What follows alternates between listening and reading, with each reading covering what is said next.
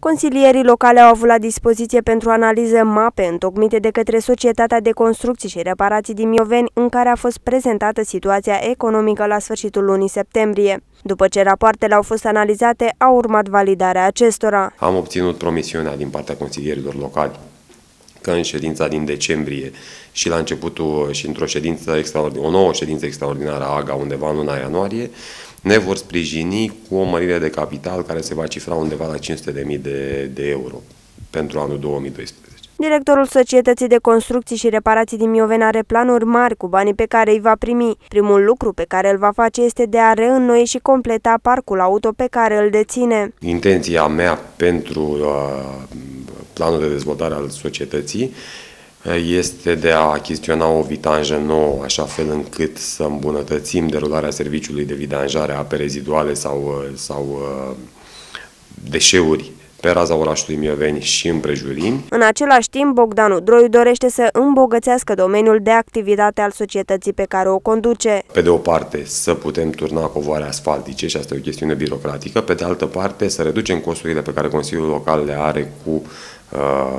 turnarea de, de covoare asfaltice, pentru că suntem convinși că SECE Construcții Reparații Mioveni SRL poate oferi un preț mai bun Consiliului Local decât firmele care s-au prezentat până acum la licitații și o calitate sporită. Și acest lucru îl vom, îl vom realiza odată cu calificarea personalului pe care îl avem și prin achiziționarea acelui eșalon de asfalt. Vom, uh, avem în intenție să mai achiziționăm uh, o rabă și, și două tractoare mai puternice și mai moderne pentru societatea de Până la următoarea ședință extraordinară care va avea loc în luna decembrie, conducerea societății va încerca să identifice și alte noi soluții de creștere a randamentului și a profitului.